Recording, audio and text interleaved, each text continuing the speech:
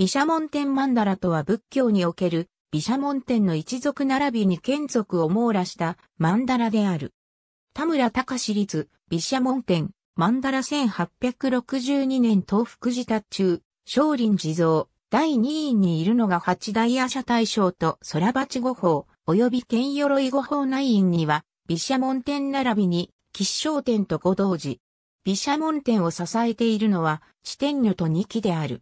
第二院には、八大夜叉大将と空鉢五法及び剣鎧五法が揃う。外院には、二十八使者が居並ぶ。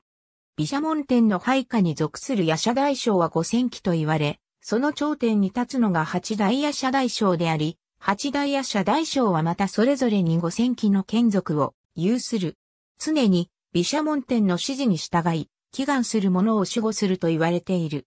毘沙門天には、実際のところ90尊の大使がいるとされるが、主に五大使に代表されるのは五法ごとく五造五行等を表すためと解されている。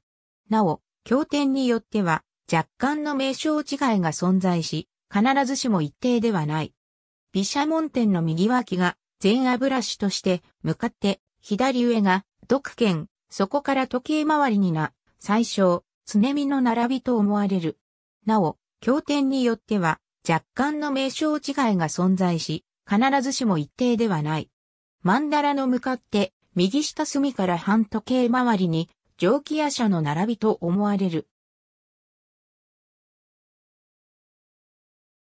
なお、経典によっては、若干の名称違いが存在し、必ずしも一定ではない。ありがとうございます。